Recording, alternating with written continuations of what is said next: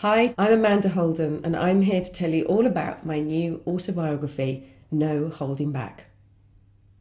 I decided to write my autobiography now. Um, I've been asked for a number of years, but I think uh, the last five years have been pretty hectic for me on a personal level. Um, quite a lot of it's been written about, but none from me personally. And without sounding too tragic, after nearly dying, I thought my children aren't going to know you know anything about me really. So i need to tell my story so they can read it in the future. And i mean in the future because there's a few swear words in the book. Mummy doesn't swear.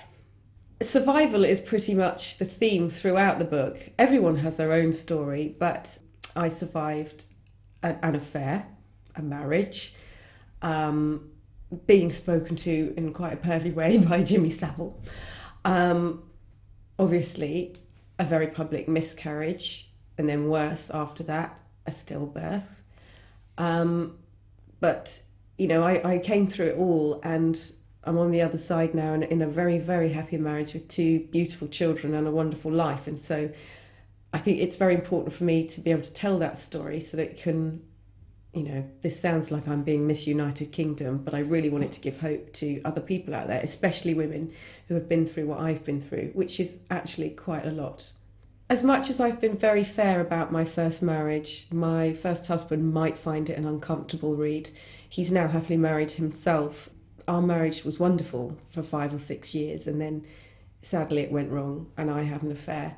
But I will stick by the sentence which I keep saying I do not believe women have affairs when they're happily married. We don't seek sex, we seek love and affirmation. I mean, I just about have sex with my current husband. I'm hardly going to go and have an affair as well. It's an effort, girls, isn't it? Or boys.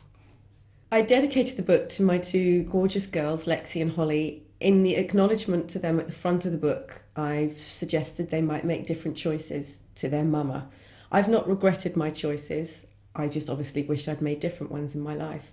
And I think if they can learn by my mistakes, they might have a less frenetic, busy, tragic,